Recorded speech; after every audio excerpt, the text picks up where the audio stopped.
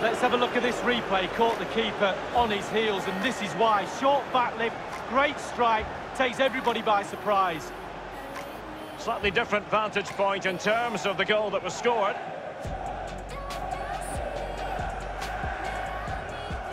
Well, all the day's frustrations are there for all to see. The coach needs to try and turn this around and quickly.